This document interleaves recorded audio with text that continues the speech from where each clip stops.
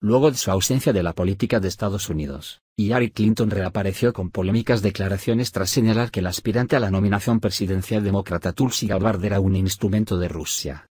Los señalamientos de la excandidata a la presidencia estadounidense, justo por el Partido Demócrata, tuvieron fuerte repercusión y generaron críticas incluso de sus propios correligionarios demócratas. Bernie Sanders, rival de Hillary Clinton en las primarias del 2016 y quien se postule de nuevo, fijó su postura en su cuenta oficial de Twitter. Tulsi Gabbard ha arriesgado su vida para defender este país. La gente puede estar en desacuerdo sobre los problemas, pero es indignante que alguien sugiera que Tulsi es un activo extranjero, Bernie Sanders. Pese a sus declaraciones y señalamientos Hillary Clinton no ofreció prueba alguna de que Moscú esté apoyando a Gabbard, aunque medios estatales rusos y algunos portales de extrema derecha han apoyado su campaña.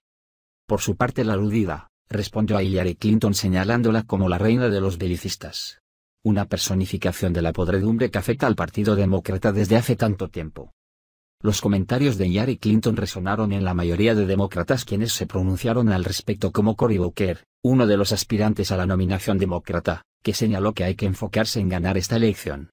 En hablar de los temas importantes y no de cosas que, para mí, no son relevantes.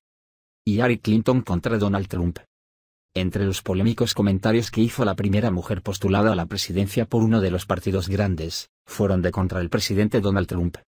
La también ex primera dama se burló de las relaciones de Donald Trump con líderes extranjeros.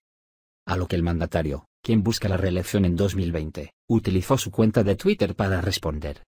Todo aquel que se oponga a ella es un agente ruso, declaró en la Casa Blanca el lunes. Esta gente está enferma. Algo no funciona con ellos.